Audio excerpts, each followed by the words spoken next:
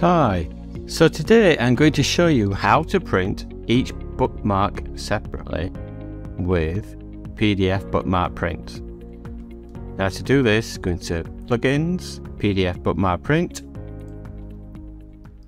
Now you select the bookmarks that you want to print. So say if I want to print these first three. Now you go into file menu, setup, you need to check this option here, print a separate bookmarks, usually required for stapling. So what that does, instead of it sending all pages 1 to 6 in one print job, it will send page 1, and then page 2 to 4, then pages 5 to 6, separate print jobs. So you can staple each section, or hole punch, or booklet, or whatever you want to do. So that's set. I've got silent print unchecked, so you do, click print. And then this pops up from uh, Adobe. You set your printer settings here that you want to set. So say if you want to set booklet or something like that.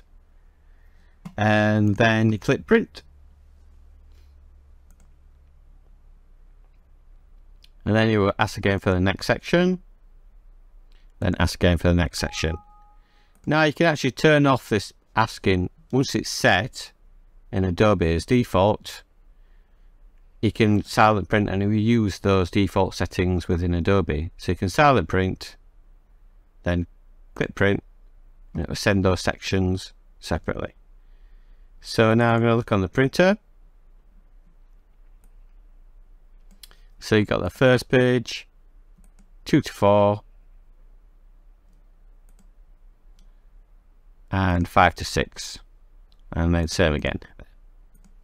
So that's pretty straightforward. Any questions, uh, please email us. Give it a try.